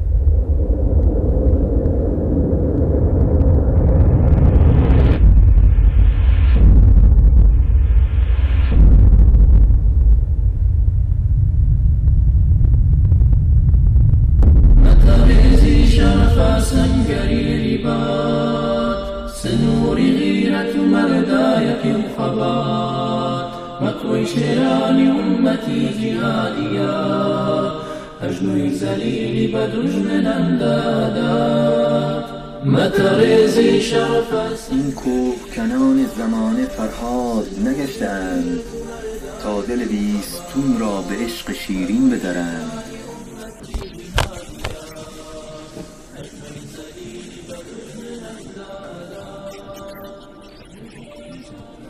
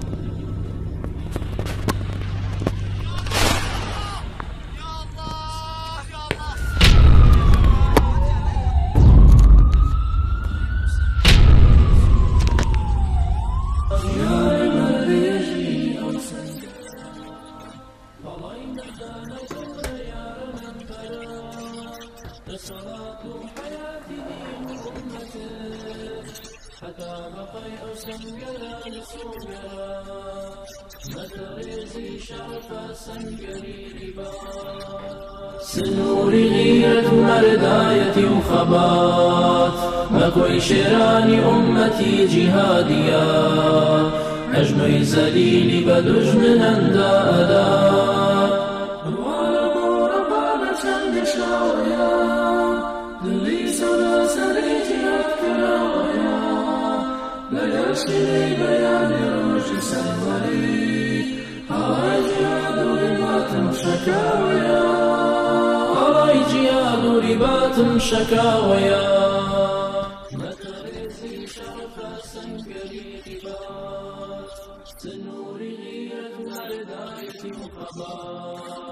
فكل شران أمتي جهاديا نجم زليل بدج من أندادا. متريزي شرف سنكري رباط. سنور غيرة مرداية وخبات مكوي شران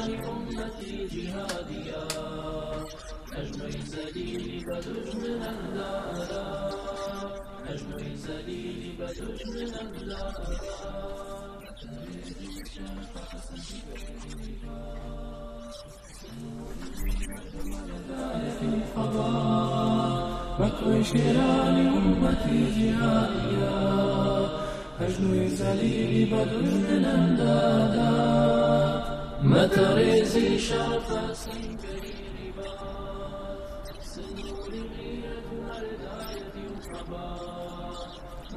شران أمتي جهاديا أجنوي سليل بدر من أندادا.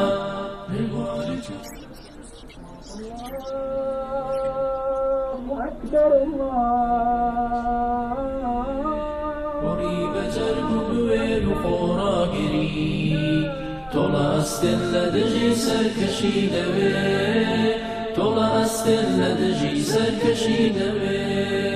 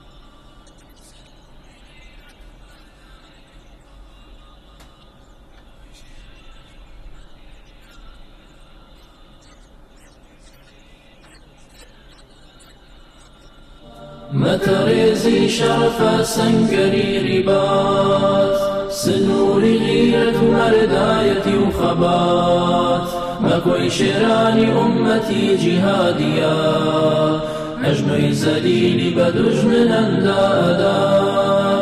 للوالي جولة سقوط.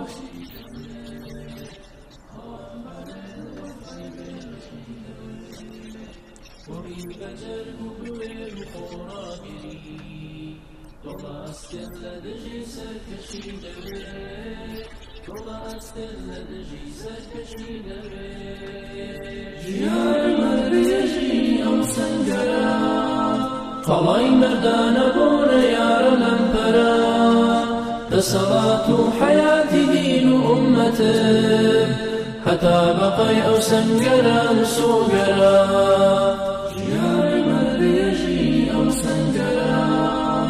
بەڵای مردانە بۆرە یارە لەمپەرە دەسەڵات و حەیاتی دین و ئومەتم هەتا بەقەی ئەو سنگەرە مسوگەرە مەتەڕێزی شەڕ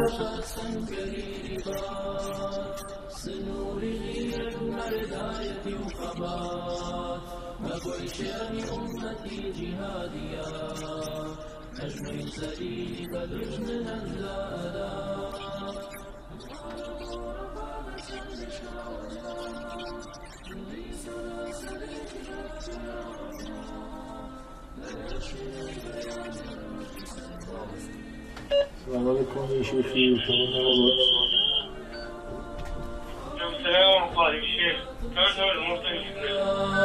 متريزي شرف سنكري رباط سنوري غيرة مرداية وخبات مكوي شيراني أمتي جهادية أجنوي زليلي بدج من أندادا رضواني جولة سوق بخشيدة خوان بالي وفاي بلشيدة کوڕی بەجەرگ و بوێر و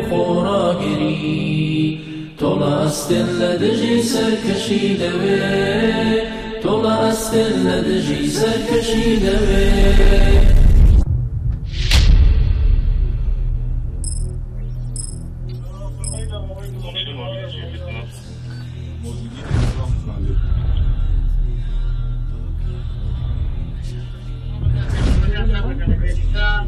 التلفزيونية ان شاء الله وهل سلاح غيبة عمرك غادي يمخمون بيه ان شاء الله Tym depresynnej musulmanczuna rametnia To kalawina shafi berzi mihnat portiya وبشودا ريقة دبري ريقة بيتو بندنا شونا هنقاوي جيانت رونا ليجي وبرزيا بولا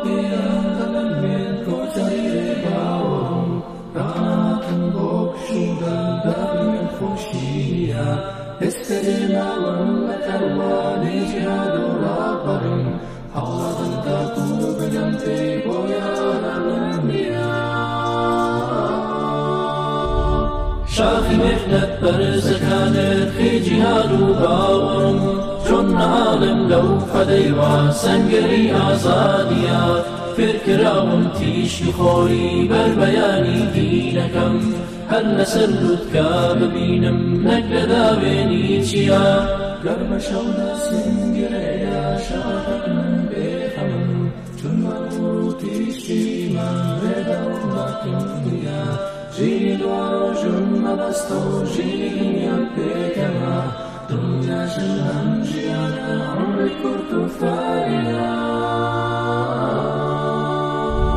لێم دەپرسن ئەی مسلمان چۆن ئارامت نییە؟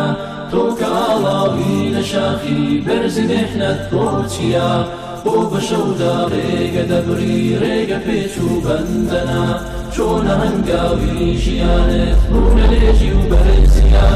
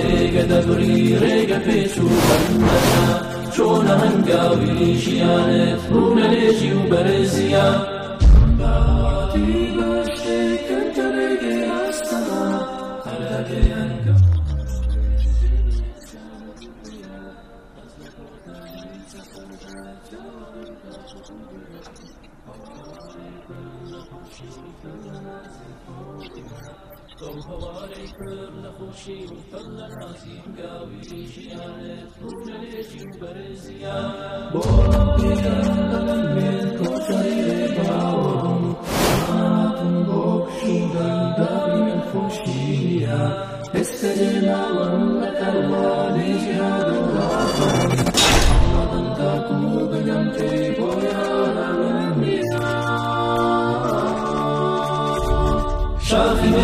برزخانت في جهاد وباور شن عالم لو قديوا سنگري آزاديا فكرة وانتيش خوري بالبياني دينكم هل نسلت كابمينم نكدا بيني تيا لما شمس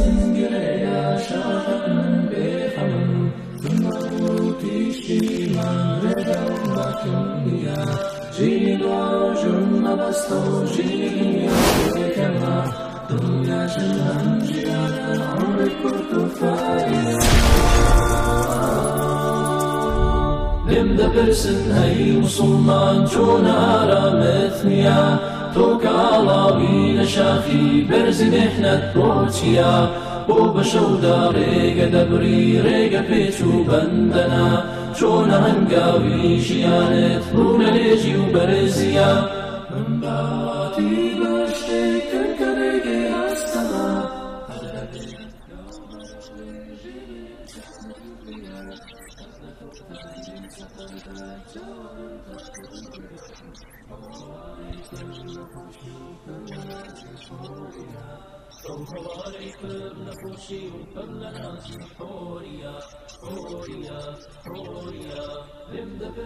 هەی مسلمان چۆن ئارامت نییە تۆ کە ئاڵاوی